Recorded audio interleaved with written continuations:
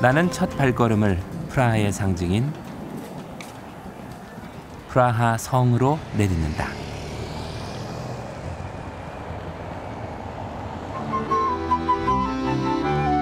나를 맞이한 건 노신사들의 멋진 하모니.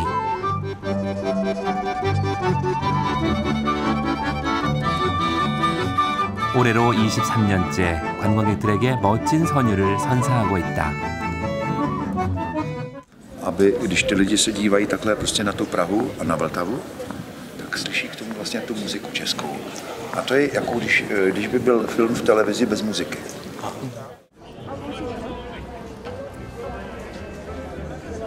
아름다운 선율에 취하고 있을 때 수많은 관광객이 삼삼오오 모여든다.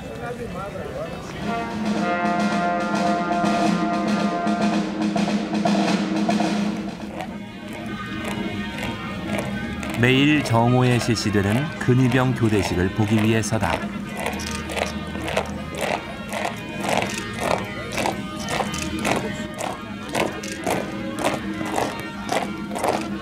근위병의 절도가 느껴진다.